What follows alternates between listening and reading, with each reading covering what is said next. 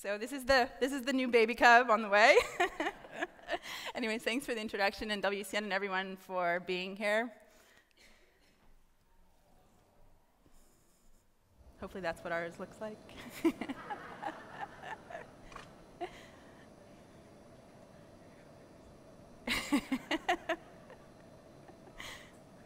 well, hopefully it comes out nice and small like these guys do.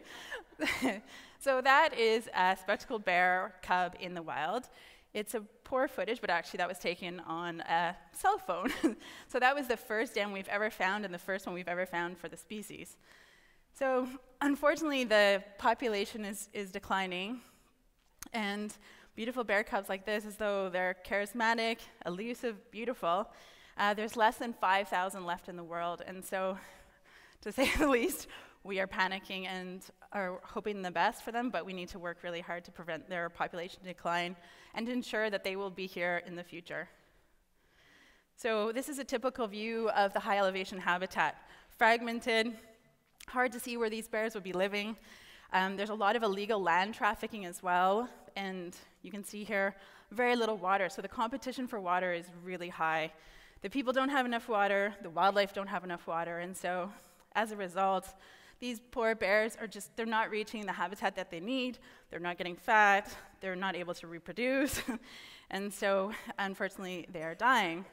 But that doesn't have to happen, and thank you to WCN and all these amazing donors and other funders, we have been able to help this population, but we have a lot more to do, and so we can make a difference and we can stop this decline, but we have to work fast.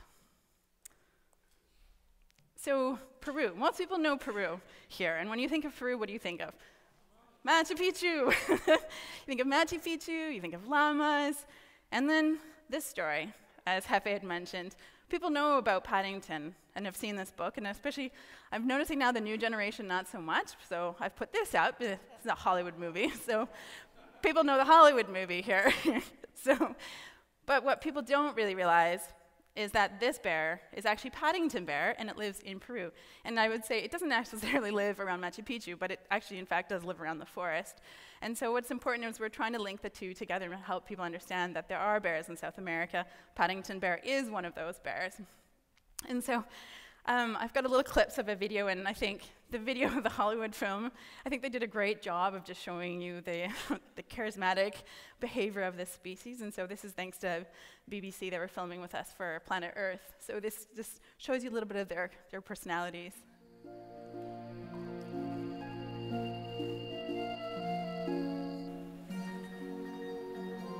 They have a lot of time to play in the midday heat. life.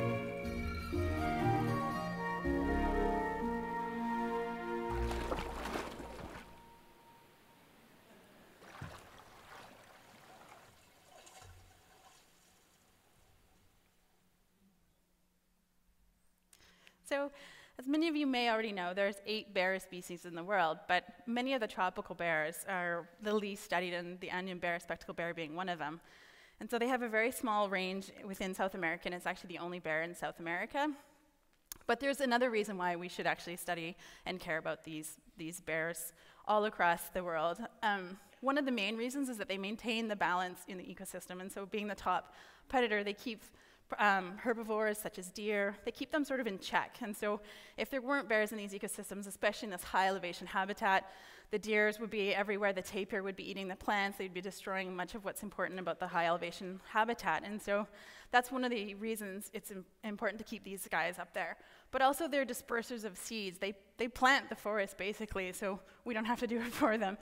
And you can see here their scats and just leaving their scats around. The, they're germinating and they're putting their trees everywhere. So um, a little bit about spectacle bears. As you probably have already figured out, they have rings not all of them, but many of them have rings around their eyes, and it looks like they're wearing uh, glasses. So they're known as spectacle bears in Spanish, and in English we tend to use Andean bears, so I'm sorry I flip back and forth between the two, but uh, typically we try to use spectacle bears just for, for in Spanish. Um, this is much of their, their habitat, typical habitat. It's cloud forest. Um, it's almost all mine tenure, and you can see in the background there's a little squiggly road, so this is a mining well, basically the entire area is mining, but you can see that this forest is, uh, it's immense, it's huge actually. But one of the biggest problems that a lot of my colleagues have and people in the past is trying to find this species. I mean, this is typical, this is a typical day. Cloudy, dense forest, I mean, trying to move through that ecosystem is really, really challenging. And so trying to find them, trying to figure out where they are, what are they doing, what do they need, what do they eat, has been really challenging. And so, uh, 2006, I set off with Javier Vallejos as part of my PhD, trying to find these bears. Thinking, I'm from Canada, I can I can maneuver through this dense forest with clouds. But little did I know, dense. This was a, this was a whole new meaning of dense. But anyways, so we set off with our backpacks, went out for uh, about nine months trying to find bears with no luck. We hiked everywhere. We came back, restocked, carried as much as we possibly could into the field. But it just wasn't happening. We tried to get in supplies with horses, as you can see here, but it was, it was a lot of work, and we were starting to well, feel a little hopeless nine months, day after day after day after day. And one day we were going to the next uh, range over. This is the last chance, and I, that's it. I was going home and probably going to study grizzly bears again. so we were talking to the, some of the people, and they said, "Yeah, there's no bears in this area, but you can make it if you get over the next mountain range here. You'll be able to make it to the next mountain range and up to the high elevation cloud forest." So off we went, but we had to cross some of this really intense, spiny cliff habitat with lots of cactus, and I'm not used to cactus, so I can't tell you how many I must have had in my head. so I don't wear hats anymore, just so I can keep my eyes open. But it was really tough. It was challenging, and we weren't expecting to find bears. We weren't expecting to find much of much of anything, but there was lots of birds, a lot of endemic birds. It was really enjoyable one morning, just sitting there watching, waiting for the for the birds. And sure enough, we're sitting there with Javier, and we see this black dot coming down this cliff, thinking, "Is that a taira? What what is that?" And sure enough, as many of you have heard my story before, it was actually a black bear or spectacle bear. Sorry. on that cliff.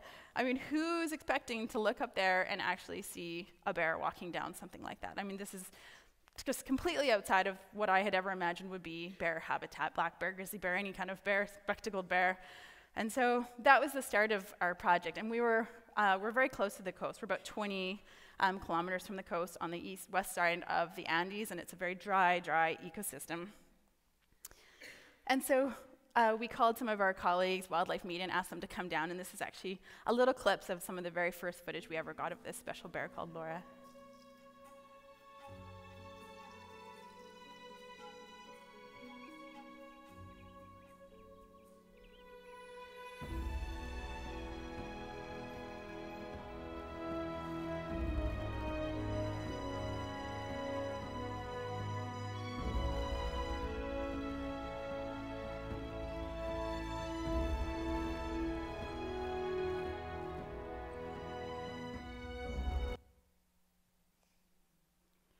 But what was really special about this, this bear in particular, and these bears, actually, they're really curious. And so while they're known as being this elusive bear, as you see in the Paddington book in Deepest, Darkest Peru, they're actually very charismatic, very curious, and as we tried to maintain our distance, they kept coming closer and closer, and especially this bear, Lauren. This is actually the very first, these are some of the very first photos I took that day of this species, so that was pretty, ex- pretty exciting.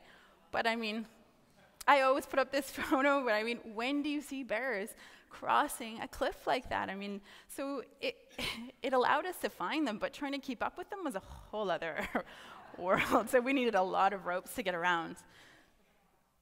And just how they use this environment. So she's trying to, I don't know if you can see it, but there's a honey, little honeycomb up there, and so she's trying to scale up. And we have a video footage, but it's so shaky, I couldn't play it, but she's trying to get the honey. So, I mean, they're looking for anything they can get.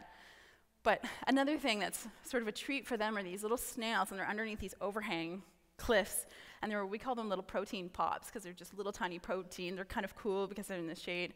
So here's some footage of what it looks like trying to get to these areas.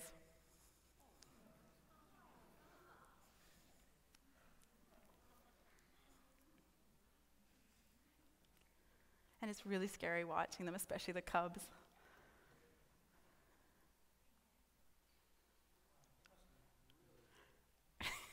good climbers? Or the good or good protein? What's that? No, um, this is a question: Have we seen them falling? But we've never seen them fall. Almost. They do little like semi falls, but I feel like we're going to fall. We hold our breath when we watch them, especially the little cubs that are three months old. So life is actually very tough for these guys in this ecosystem. It's hot, it's energetically costly, it takes a lot to move around.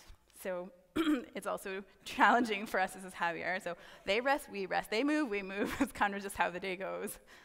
Um, but here's a little clips again by BBC just to give you some idea of what this ecosystem looks like. Andean condor.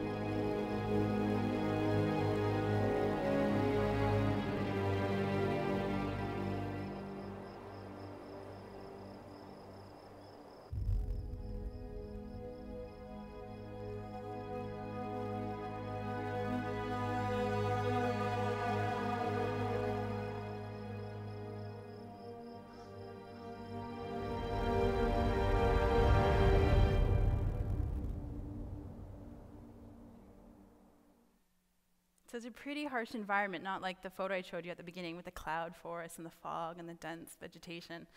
It's very different. So these guys have to work out like big time to keep their fitness up. So these guys are doing their abdominal workout. But what we did realize very quickly on is that um, it's really important to engage the community. We cannot do the work without them, and so we built up a conservation center. We have accommodation there for visitors and scientists, other people who are coming and are interested in uh, seeing these spectacled bears, and also to have a place to engage the community. Um, people didn't realize there was bears in this area, and so when the word got out, it was really exciting for a lot of the people. And I think because we are able to show them how amazing these bears are and their personalities, the kids really engage with them, the teachers and the people from the community. So it was something of excitement for the community. And for us, it just meant a lot of field work. So for the first six years, I spent basically every day of my life, 250 days a year, with these three guys, trying to find these guys, trying to figure out where they are, what they do, what they need, and um, we put up camera traps, and we took a lot of photos like this, and the one great thing about spectacle bears, they have different facial markings. They all have names, and we can identify them. But if we get photos like this, that's not so easy. or we get this, and this is, the, this is what a lot of them like to do.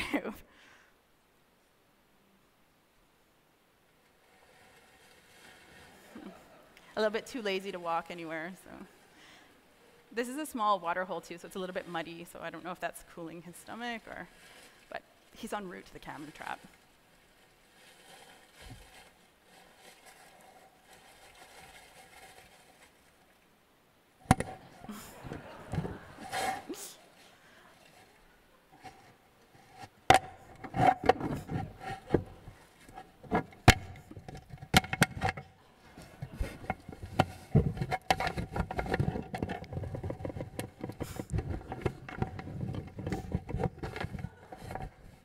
So obviously there was a little invasion of personal space. But what this bear Marco didn't realize is that we had secret cameras. so this is him pulling our camera apart. you can see the.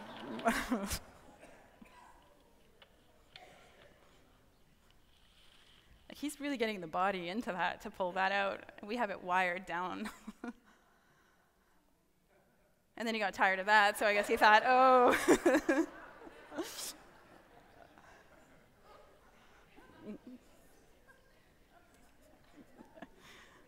Nice smudgy lens, and we wonder why it's hard to get good footage.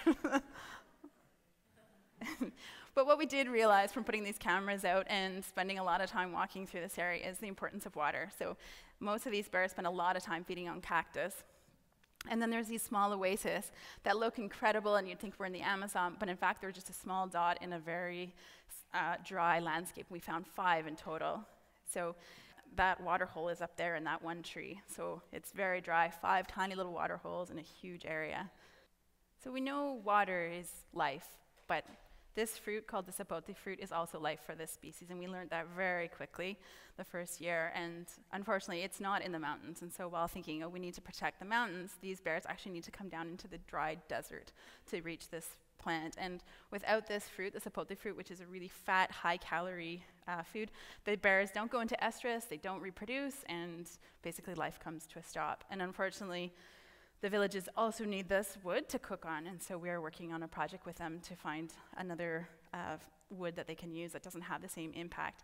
And just their presence in the forest, going in uh, when the bears are reproducing and they're coming down and trying to feed on, on the sapote. But they're using it for cooking, so we can't just tell them to stop. So it's one of the challenges we have. When they're not feeding on sapote, they eat this tree called the pasayo. So just like a beaver, they eat the entire tree. They don't just chew on it, they don't just eat the outside. They eat the entire tree from top to bottom. And they can sit there for two to three weeks eating, and, and that's what it looks like, just pulverized. and interesting scats, it's just dry, dry cork. So it's low calorie, it's not a high food, but it gets them through the dry months so they can get to the sapote the following year. This is just a really short clip of what it looks like for a cub eating, trying to pull out the, the wood from the tree.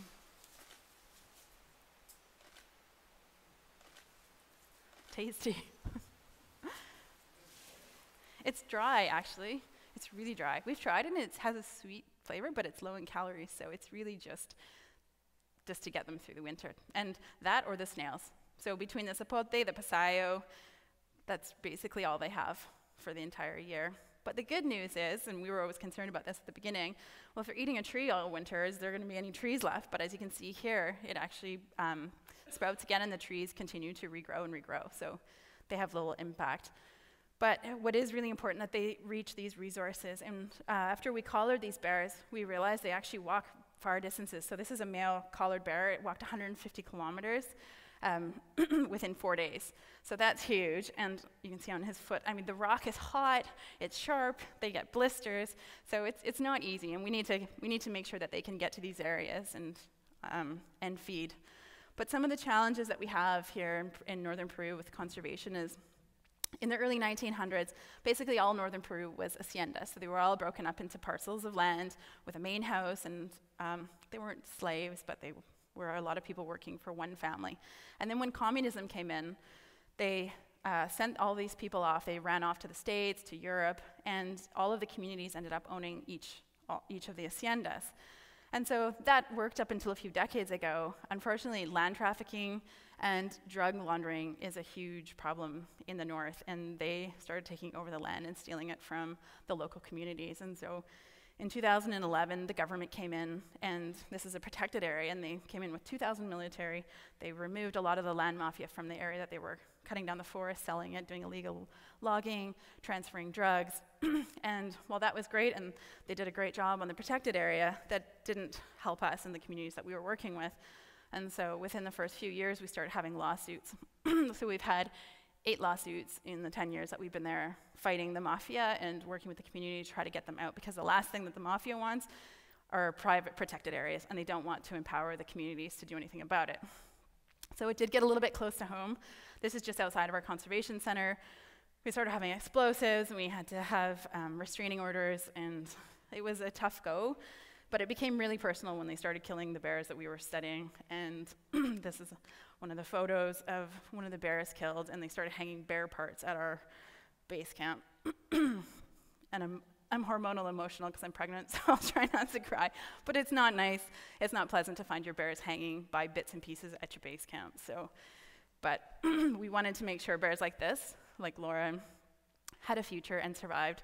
So we worked really hard, had great lawyers, had a great group of communities that came together, and we fought the mafia. And three, four years ago now, we put the three ringleaders, I guess, in jail. So they're there for 25 years. So thank you. Hmm. and this area now of the dry forest has become an archaeological ecological park. So we at least feel rest assured that a small bear population is protected, but that is just one small part of what we need to do in the next bit. So while we thought things were slowly starting to calm down and the mafia has gone to jail, we can start getting back at our work, this was the end of last year. We had major droughts and big forest fires broke out. Unfortunately, our camera traps were burned, and the government is just not on it. They didn't send anybody up there, and so we're sitting there watching the smoke and watching the fires, thinking, what do we do? Do we go out there and put out fires? I mean, we can put a bucket, but I mean, what, is a small team like ours going to do? And so our team is really dedicated and they took it upon themselves. They went up, got the communities, rounded up people. They did their own fundraising. It's the first time actually we've ever had funding come from the cities in northern Peru, and they were able to fundraise enough money. We were able to buy um, shovels and helmets, and we had hundreds of people out there uh, fighting these fires, but we did lose um, about 30,000 hectares so of prime bear habitat. So that was pretty distressing for all of us. But the climate has been just, I mean, it's been one year after the other drought, drought, drought, drought. But then we had the biggest shock of ever after this year. and this is some of the vegetation that was lost just beautiful vaccinium, like blueberry food habitat, lush forest, just, just devastated. You can see here, this was uh, October 26, 2016, and this is one month later. You can see the bear there, so the habitat was just wiped out. But unfortunately, a lot of these fires, so the drought wasn't, the fires weren't started from lightning, they were started from a lot of the local people. And there's this belief up in the high altitude that if you make smoke, it creates rain. But that's usually because they're burning before a little bit of the rain comes. So anyway, so we've had to spend a lot of the last couple of months trying to educate the people and teach them it's really lighting your fire is only burning down your forests and it's burning your communities. People lost their houses and so we've had to reshift a lot of what we're doing in the last little bit to focus on that. And then just as things were getting under control, the fires were out, we're thinking, okay, we're past. All of a sudden, in the low elevation where our conservation center is, started flooding. So we went from extreme drought, which is still a drought in the high elevation, to extreme flooding. But to flooding that basically Peru has never seen in its time. And I'm sure many of you heard of here it was reaching international news. So this is us out in the middle of the night trying to put sandbags around our conservation center, trying to guide the water but it was pretty devastating. So this is just our, the side of our conservation center. And actually in the nighttime, it comes like flash floods. The trees were almost covered in water. So we had over 25 feet of water in an area we have never even seen water before. So it was just crazy. This is some of our staff housing. They just got demolished. So a lot of people have asked me, well, what does that mean for bears and how, how good is that for bears? And so, well, on the left you can see that it's um, dry, and on the right it seems green and lush, and you may think that's great for, for wildlife. And I think in, in, in reality, a few thousand years ago, perhaps a nice big flood in El Nino or water like that could be really advantageous for the ecosystem. But in fact, we're not really sure what this means for bears. And I think for a lot of species, migratory birds and things, perhaps that is, it is uh, beneficial. But in terms of bears, uh, we're really concerned about what this means for them in the next year. That is a sapote tree. Now, normally this is dry desert. You don't see any green. And this vine is just covering the sapote. And so what we've seen with a little bit of rain that we've had in the past is that the trees don't actually pollinate and we can't get sapote. If they don't have sapote, as I told you earlier, they won't reproduce, they can't get fat enough, they won't get through the winter. And so we're worried now about how this will affect them next year. I think now they have enough food. There's new fruits we've never seen, and they're eating grass, and they've got enough water. So I think life is great for them. But long term, I don't think this is going to be um, great. And I think what we're going to see again, as we've seen in the past, is the females stop lactating. Um, they don't have enough fat to carry them through the winter. So the cubs start dying, um, starving to death, basically, as do many of the females. And so this is one of the cubs that has died before from starvation, and the mums just don't have enough. This is the video of the last um, the last time we saw this cub before it passed away. Oops. Oh, well, it didn't play, but it's probably best because I don't need to cry on stage right now. so, so just reiterating again, the importance of Sapote is huge, and working with the communities, trying to find alternative woods, and trying to find new practices, trying to help them understand um, the impact that they can have and when they should be trying to go in and collect wood and so we installed um, these uh, cocinas mejoradas, these um, stoves that use a lot less wood, and we can use other wood as opposed to sapote, which lasts a lot longer. So we're trying to educate them on ways that have less effect, but ultimately, it has a huge effect on starvation, and we're still seeing this every year. We lose bears every year to starvation, so that's something we're desperately working on. Trying to raise a cub like that in an ecosystem like this is super challenging. I mean, as you can see, they don't have a lot of food. We know that the females will go up to six months without drinking water. Uh, they're not eating for four months, and then they have to carry a baby cub through that landscape with the, with the huge cliffs, so it's not easy for them. So that's basically what a bear looks like when it has cubs, and that's what it looks like without cubs. Within three months, the, um, the bear almost doubled in size.